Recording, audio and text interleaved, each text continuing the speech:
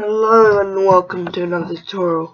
Today I'm showing you how to use the fuel planner to plan your fuel and your weight for your aircraft in the Aerosoft Airbus.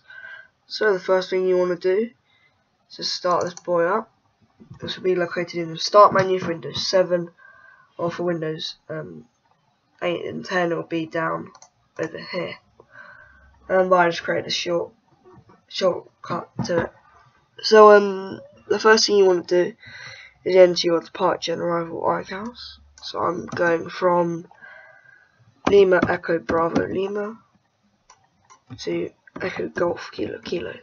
Now my last video I did a tutorial how to use SimBrief to plan this flight. I'm showing you how to put it into the fuel planner.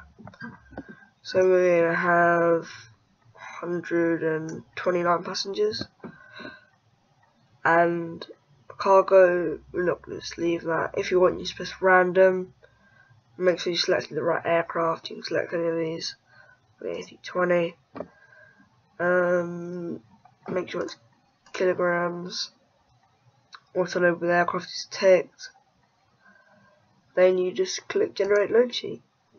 And you just want to minimize that because probably after that you're going to start FSX.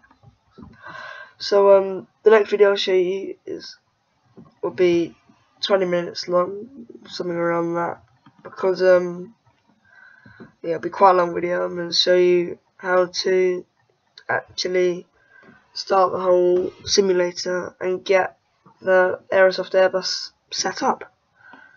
I hope this tiny tutorial um, helped you a lot, and I hope the next one you'll be looking forward to. So, um, see you then.